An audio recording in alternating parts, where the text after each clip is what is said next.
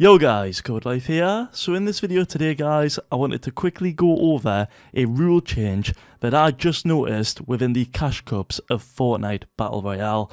That's right guys, I just noticed it and I bet a bunch of you guys out there don't even know about this rule change as it seems that no one's been talking about it. The rule change that I'm talking about here guys is as most of you will previously know with the cash cups, these were indeed previously actually like region locked, meaning if you were from EU, you could only play on the EU servers in the EU region. However, now guys, it seems that that has all changed. I've got the proof in a second, but just to give you all an example of what I mean here is, as you can see here, the Cash Cup in the EU just ended. You can see right there. Um, obviously, I myself don't have access to it because I'm not in Champions League. But if I go ahead, guys, and change my region over to NA, for example, press apply, you'll see guys that in one hour's time, uh, it was literally just two hours time, but in one hour time, I can actually compete in this. And yes guys, it is all fully allowed, as I'm about to show you the proof over on the Epic Games official rulebook in just a second. But before I do go ahead and show that proof guys, I just want to say that this is awesome because it has two huge benefits. The first benefit is that it benefits the viewers, us guys, we have more content to watch, as all these pro players that are so good at the game, they can compete in as many cash cups as they want, over on the regions. Like literally if I wanted to do an all day slash all nighter, they could compete in every single region. And what's best about that is we'll see these like top EU players and top NA players clash head to head in these regional cash cups.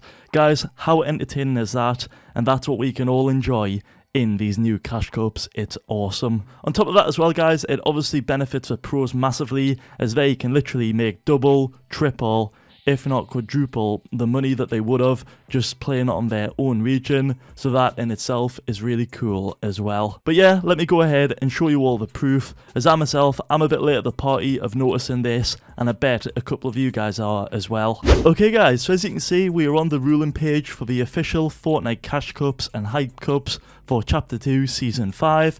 And well, if we go to the rule here, this specific one called 3.7.4 this is where it states, guys, that you can essentially play on any sort of region. And it'll make more sense in a second, as I'm going to compare this specific rule, the 3.7.4 rule, to the old one from an older tournament slash cup.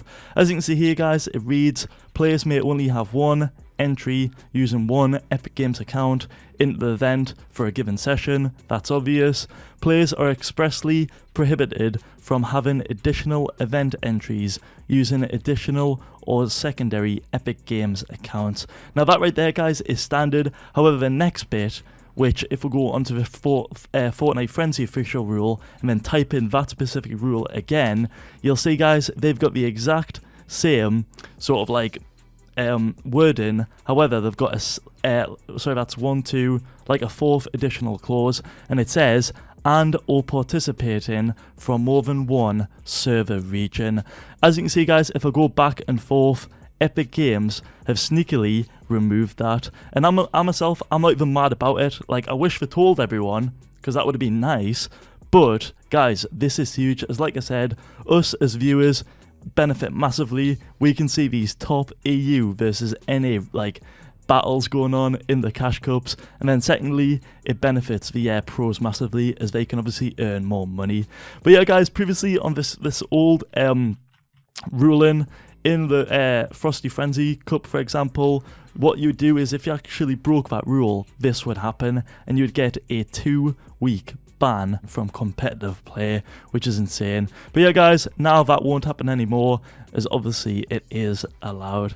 And yeah, guys, I thought I'd give you all a quick update, just so you all know, and just so you're all aware that you can compete on different regions throughout the rest of the Cash Cups. I wish you all the very best of luck, and I hope you all win some money. Thanks for watching, guys.